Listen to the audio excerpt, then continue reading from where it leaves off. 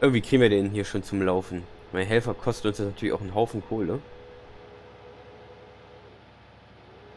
Ruckel.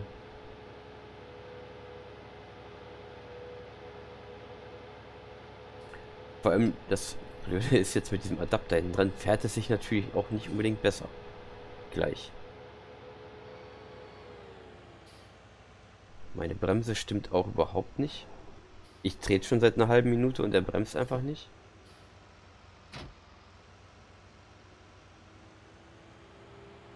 Stellen wir jetzt erstmal hier hin.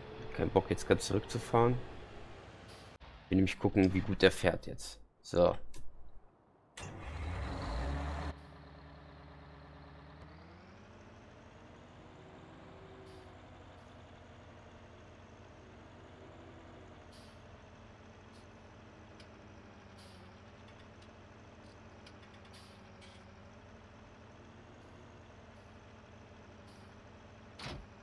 Den haben wir. Müssen wir damit nur noch an den Flug ran.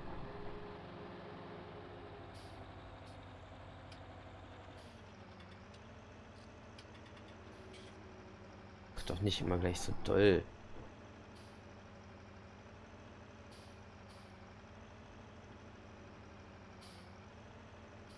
Passt wenigstens farbig.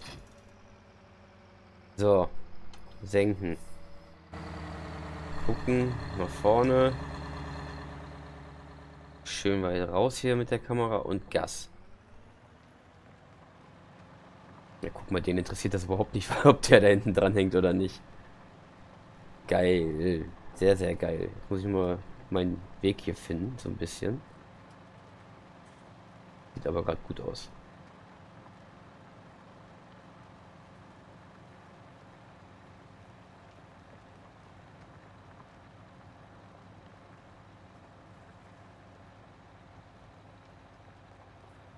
Wird jetzt wahrscheinlich nicht ganz so effizient sein vom Fahren her, weil schwer zu handeln die ganze Nummer. So wie hier lasse ich jetzt glaube ich schon am Rande was stehen. Was wahrscheinlich mit verschwinden würde. Ja, korrekt. Aber wir wollen jetzt auch nicht so mega pingelig werden hier. Die Zeit haben wir nicht. Fahren wir uns hier selbst erstmal ein kleines Vorgewende.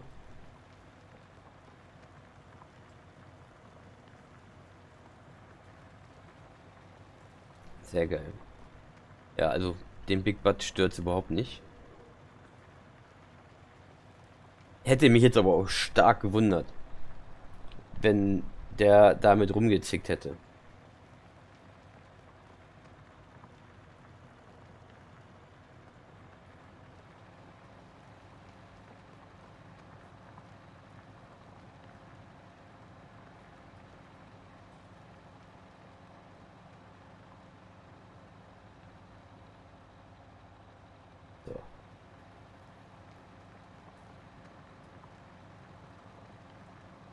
Ja, das wird ein bisschen dauern, selbst mit dem Riesenflug.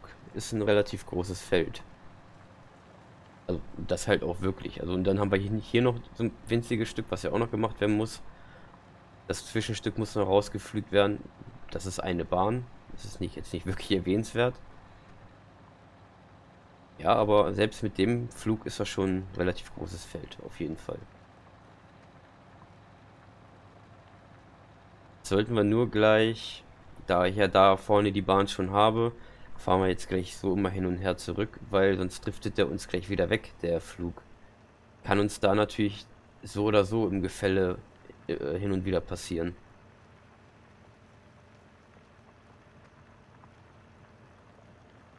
Zwölf km/h sind jetzt auch nicht wirklich schnell, ne?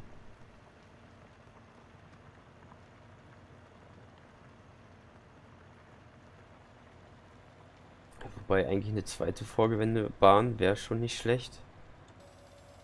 Ich habe eigentlich keinen Bock hier ständig jetzt durch fremde Felder zu fahren. Was noch nicht mal ein fremdes Feld ist, das... Oh doch. Oh, das sah gerade so aus, als wenn ich es kaputt fahre. Alter. Schreck lass nach.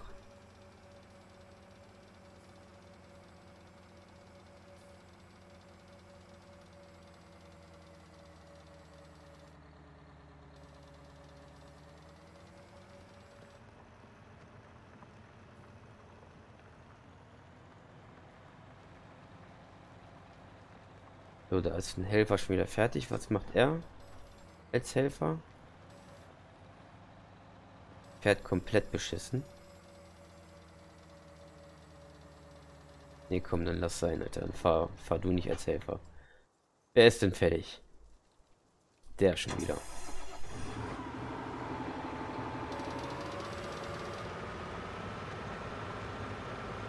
Verstehe ich ehrlich gesagt nicht, dass er das hier nicht anerkennt, die Schrägen. Wird jetzt gleich immer öfter passieren, aber gut, dann ist wenigstens das Gefitzel da schon mal weg.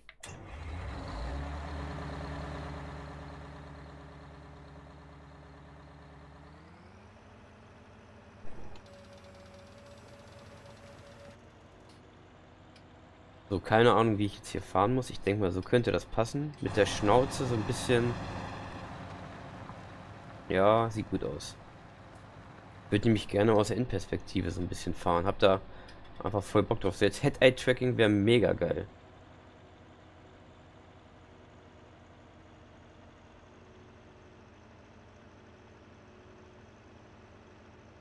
Es geht aber einfach besser aus der Perspektive hier.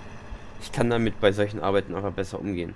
Head-Eye-Tracking wäre jetzt natürlich, ich glaube, dann würde das viel cooler gehen, weil man das so in, eigentlich erst mit seinem Kopf macht, mit dem Hinhergucken.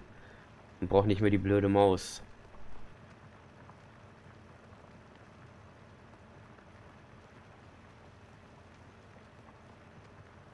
Ich sag mal Head-Eye-Tracking. Ich meine, so heißt es hier im Spiel. Eigentlich ist es ja nur Eye-Tracking. Eigentlich. So, ich glaube, das Feld gehört nicht mehr uns. Hier kann ich, glaube ich, ganz getrost drüber brettern. Ja.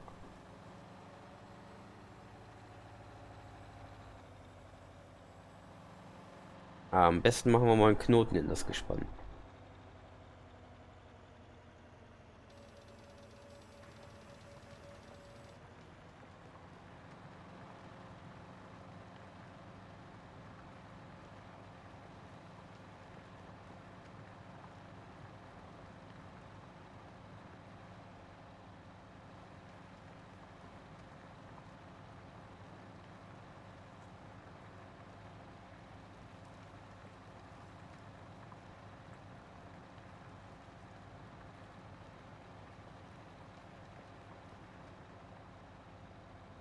Naja, geht aber voran, ne? Ich weiß nicht, also wenn ich dem jetzt hier trauen könnte. Ich meine, wir sehen ja, wie die Linien gehen. Das ist ja nur hier vorne ein bisschen schief. Eigentlich. Wenn wir das gerade ziehen, dann könnte der schön seine Spuren fahren. Derzeit könnten wir da Strom aufsammeln. Hätten wir allerdings einen dritten Helfer an. Ich weiß nicht, wie das Kohle technisch reinballern wird. Aber ein Versuch ist es eigentlich wert. Eigentlich.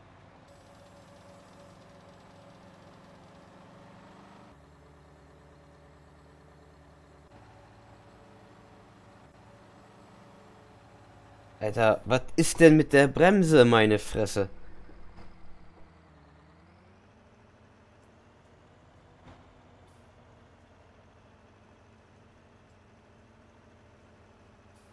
Problem ist, wir müssen den weiter hier vorne ansetzen, damit er jetzt auch wirklich die Bahn fährt. Ich setze ihn jetzt einfach an und dann gucken wir, was er macht. Wir wollen ja schließlich was schaffen. Ich hau den jetzt mal einfach hier hin. Dann bleibt da zwar was offen, aber das können wir ja selber noch direkt machen nachher. So, runter und an. Fahr, Digga, fahr. Wunderbar. Dann lassen wir den jetzt mal arbeiten. Ich organisiere mir schon mal das nächste Fahrzeug. Hier ist übrigens unser eventuell untermotorisierte äh, Rasenmäher. Komme hier die Tür raus? Ne, muss ich die nehmen. Gut. Ähm, Ladewagen, Ladewagen.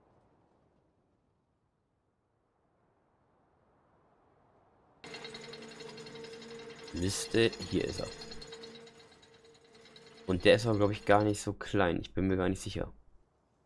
Jetzt haben wir allerdings auch nicht mehr so die große Auswahl an Traktoren. Guck mal. Doch, den 1050 hätten wir noch, ne? Den holen wir uns auch dafür. Besser ist das. Oh, der ist full. Sagt aber auch nichts, ne?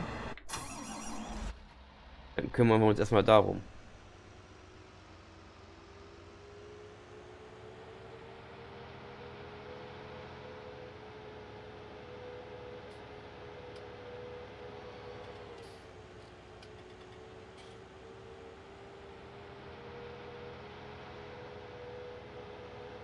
Aber wenigstens nimmt es jetzt hier Form an. Und es passiert was auf, auf dem ganzen Hof. Gehöft. Ja, Gehöft ist besser. Gehöft und Felder. So. Dann muss halt noch ordentlich gekalkt werden. Wenn alles durchgepflügt ist, dann muss gegruppt werden, glaube ich, weil wir keine Direktsaatmaschine haben. Dann muss... Wobei wir vorm Grubben eigentlich auch düngen können. Dann grubben, dann einsehen und dann müssen wir theoretisch nochmal düngen können. Hoffe ich. Wenn nicht, müssen wir gucken.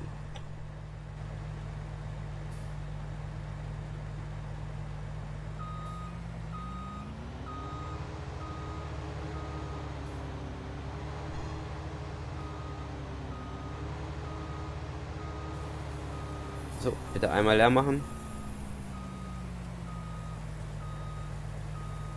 Äh, da steht hier echt ein Pfeiler im Weg, aber den kann man anscheinend durchfahren. Jetzt hat er da noch was offen gelassen. Na, nach hier wird er auch jedes Mal was offen lassen.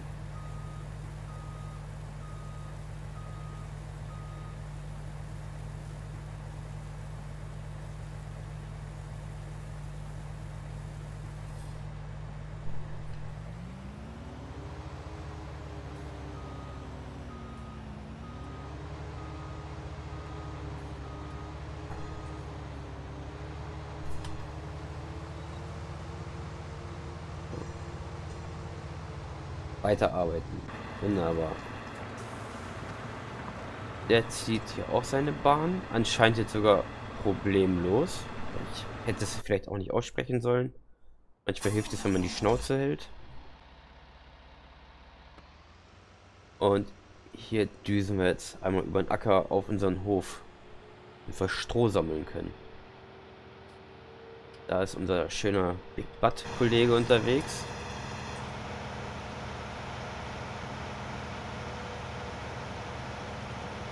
Der hier auch tatsächlich fleißig seine Spuren zieht. Ja, hier ist ein bisschen offen, das können wir selber ausarbeiten. Wenn sie einen denn wenigstens die größte Arbeit abnehmen, ist eigentlich schon sehr viel geholfen. Das auf jeden Fall. Wenn sie jetzt mal 20 Minuten am Stück alleine fahren, ohne Ärger zu machen, dann schaffe ich auch tatsächlich ein bisschen was mal an Stroh aufzunehmen. Die Auffahrt ist auch nicht so ganz perfekt geworden, aber ähm, ja, manchmal, manchmal will das nicht so mit diesem Landschaftsbau, wie man das gerne hätte. Ist immer ein bisschen fummelig und da ist, bin ich froh, wenn es dann doch einigermaßen glatt ist. Man muss halt auch sagen, eigentlich die Natur ist nie perfekt und man könnte immer alles perfekt machen. Aber wenn es halt ein bisschen ungleichmäßig ist, hat das irgendwie auch ein bisschen mehr, bisschen mehr Stil. So, wir scheppern jetzt zu dem Feld. Wobei ich auch gleich, wenn ich am Feld angekommen bin, mache ich nochmal eben eine kleine Pause für mich. Für euch werdet ihr das nicht merken. Ich schneide das dann raus. Aber für mich brauche ich gleich nochmal ein kleines Päuschen.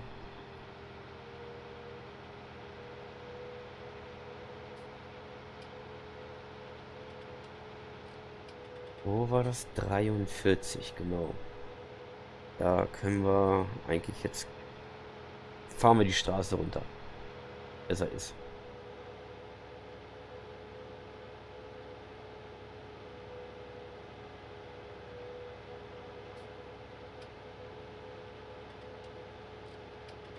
Rheinsberg. Mhm. Ah, die Hauptfach ist schon eine geile Karte. Und so wie ich gehört habe, sind wohl jetzt auch die Skripte veröffentlicht worden, so dass die Modder jetzt, glaube ich, mit den Skripten auch anfangen können, die anderen Skripte oder diese Skripte zu entwickeln, dass wir hier wieder Wirtschaftszweige und sowas bekommen. Ah, 46 muss ich. 46, nicht 43. Dann war es ja ganz gut, dass wir da unten lang gefahren sind. Da bin ich mal gespannt, wie lange das jetzt noch dauern wird, ähm, ob das wirklich auch die Skripte sind, die dafür benötigt waren.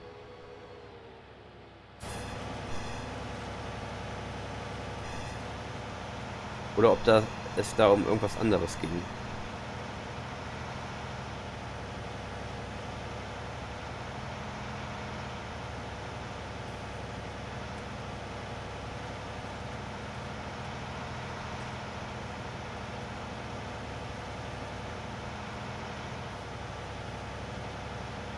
Ist natürlich auch ein Riesenvieh von Ladewagen, ne? muss man ja auch mal sagen.